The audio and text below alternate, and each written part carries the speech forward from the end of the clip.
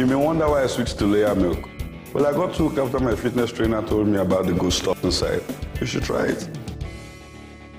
Exercise and making good nutrition decisions like drinking calcium-enriched loyal milk every day is vital because it helps you nourish your bones and body so that you can live a more active life every day. That's why I encourage my clients and ensure that my family gets their loyal milk too.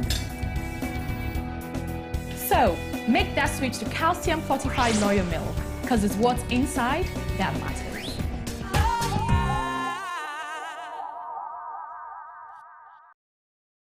Welcome back. Governor, I walked in here. You're wearing your red hat.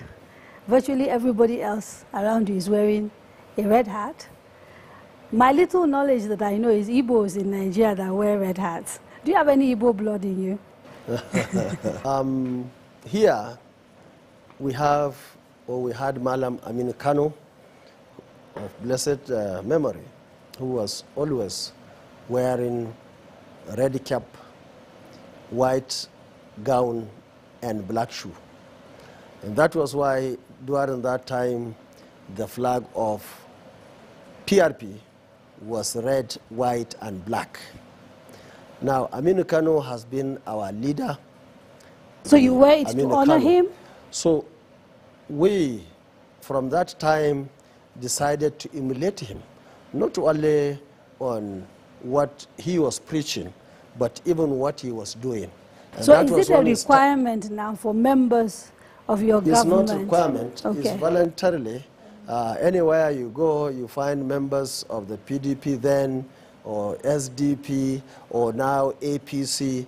People are free to put whatever color they want.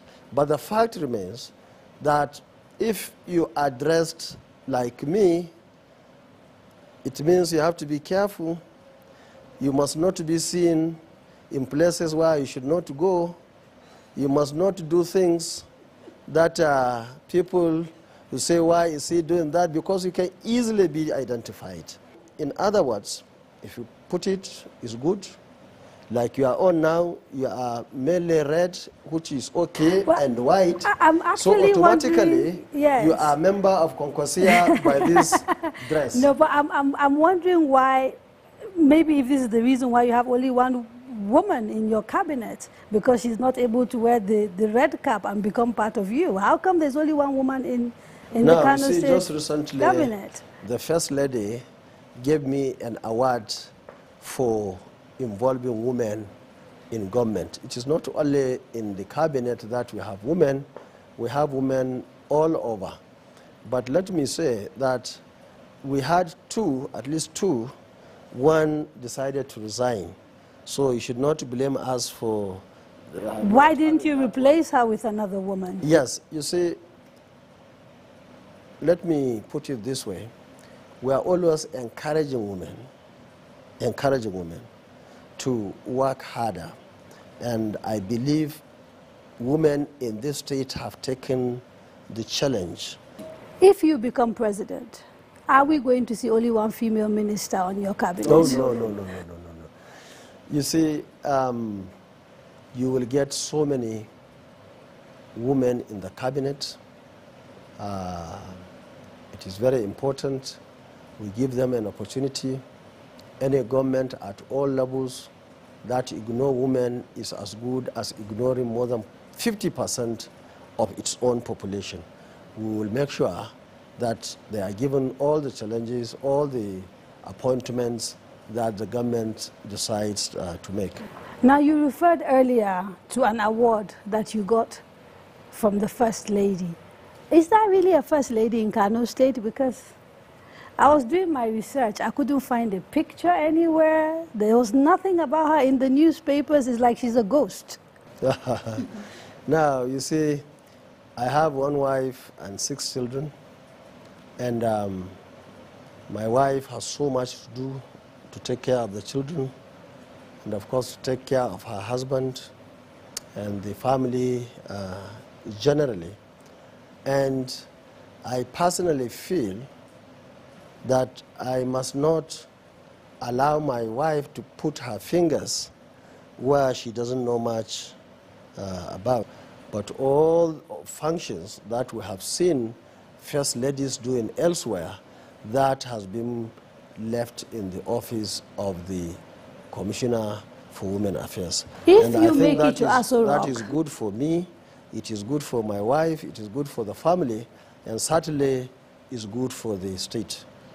Is this a policy you will carry to the um, presidency if you make it all the way?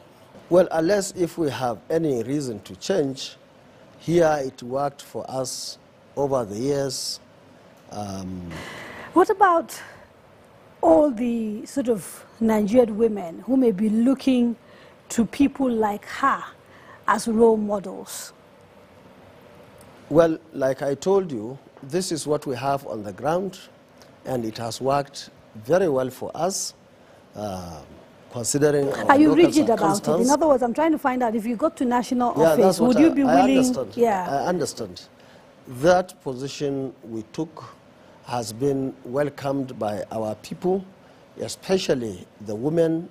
They are appreciating our position, and this is what we are doing and what is being appreciated.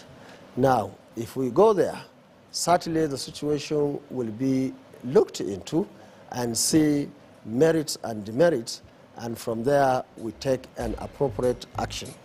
Excellency, thank you so much for being a guest on Straight Talk. Thank you, Kadaria. You've been watching Straight Talk with me, Kadaria Ahmed. My guest was His Excellency, the Governor of Kano State, Engineer Rabiu Musa Kwankwaso, with whom I discussed his ambition to become President of Nigeria in 2015, his style of governance in Kano, and the security challenges facing the country. Join me next week when I'll be in conversation with another special guest. Have a very good evening.